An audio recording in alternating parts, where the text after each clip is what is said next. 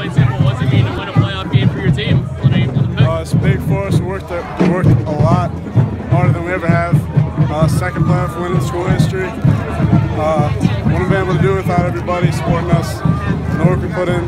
So. Take us through the play because you guys had to come on the field quick after Daddario's touchdown to put you guys ahead. Yes. Uh, just got my coverage and ball was there. I took it. Nothing special, just D line getting in there, making pressure for us. So, team win. Defensively, after the first quarter, you really held them down to that final drive. Um, what were they doing at the end to kind of give you guys a little trouble at that last drive? They were doing, I mean, they were pulling dummy pulls, you know, a lot of stuff we haven't seen before. Uh, a lot of trick plays that we just haven't we haven't seen. And that was it.